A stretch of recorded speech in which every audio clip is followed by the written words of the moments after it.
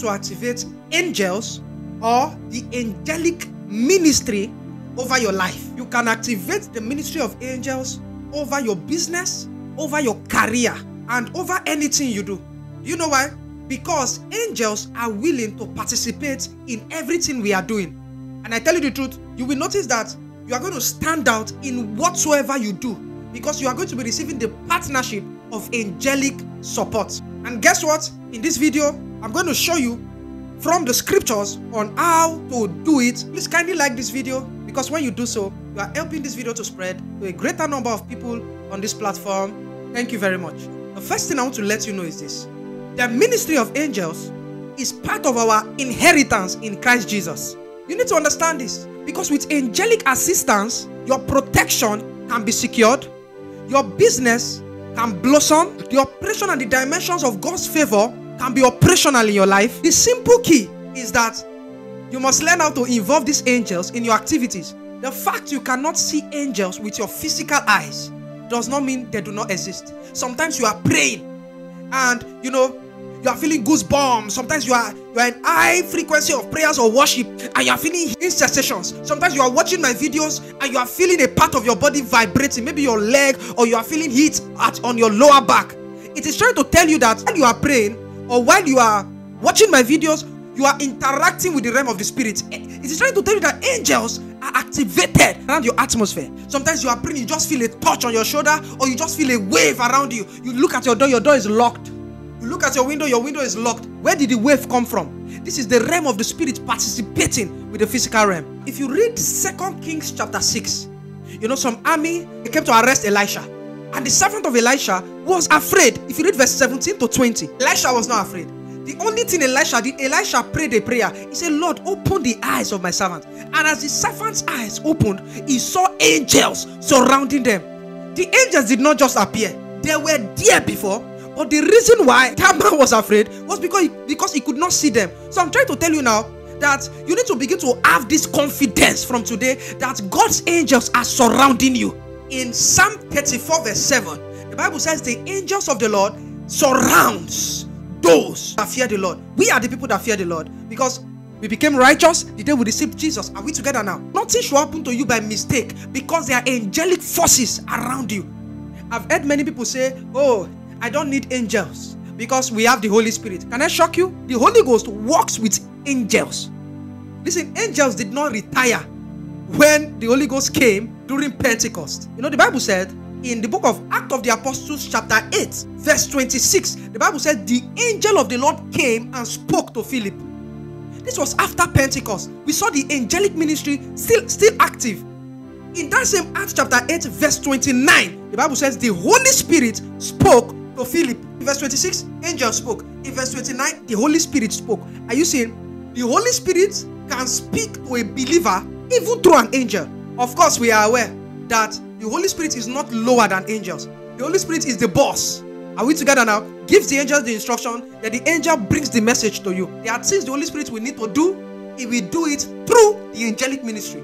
Are we together now? In the angelic, there is the messengers, the angels that helps you journey in your intimacy with the Lord and the intimacy with the Holy Spirit. Now there are some angels that are responsible for revelations and prophetic messages. But I want to speak about one today called the dimensions of the angelic host. Tell you the truth.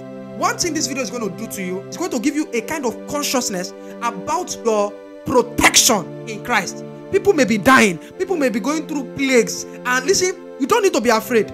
All you need to do is to be conscious that God's angels are encamping you as the Lord encamps around Jerusalem. David went for a battle in the book of First Samuel, chapter 17, 45. Then said David to the Philistines, Thou comest to me with a sword and with a spear and with a shield, but I come to you in the name of the Lord of hosts. Are you seeing it? In the name of the Lord of hosts. When I checked the meaning of host in my Hebrew Bible, it is Sobal.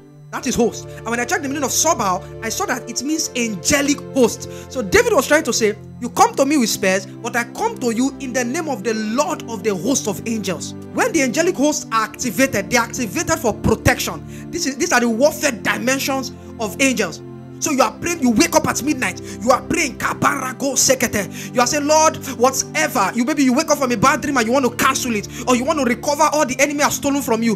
The angels that are activated is the angelic host.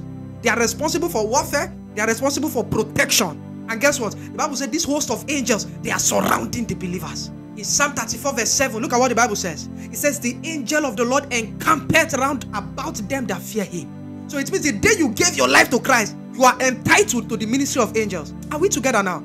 So don't be afraid. I don't know what's scaring you. Don't be afraid. Look at Hebrews chapter 12, verse 22. He said, But you are come unto Mount Zion and unto the city of the living God, the heavenly Jerusalem, and to an innumerable company of angels. So the day you gave your life to Christ, something has been given to you. Number one, you have changed location. You are now in Mount Zion. Number two, you are in the city of the living God. And guess what? You are entitled to innumerable company of angels. So it means you are walking on the streets, angels are following you. You are, you are going for that job interview, angels are following you. Now the question is this how do I activate them? you must learn. Number one way to activate them is through your declarations. One thing you must understand is that these angels are like military personnel. The military man listens to the command of the superior. So if a general in the army says, Go, military men, they don't have a choice but to go. Are we together now? So listen, God is the overall general. I believe the rank of God is even more than the general, it's more than the field marshal. So God is the boss. Guess what? The angels are like the military men. So guess what? Wherever an angel sees the word of God, the angel responds. One of the things that activates the ministry of angels is declaring the word of God. In Psalm 103, verse 20, Bible says, Bless the Lord, ye his angels that excel in strength, that do his commandments, hearkening to the voice of his word. Are you seeing? Number one, he said, Bless you, Lord, ye his angels that excel in strength. Meaning, angels can be strengthened. Are we together? Now, how will your angels be strengthened to work for you? He says, What? They obey, they hearken to the voice of his word.